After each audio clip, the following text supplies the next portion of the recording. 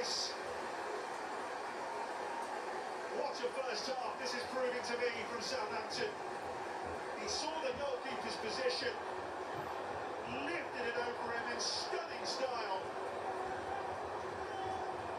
This is scintillating stuff from Southampton. They lead 2-0. Who saw this coming?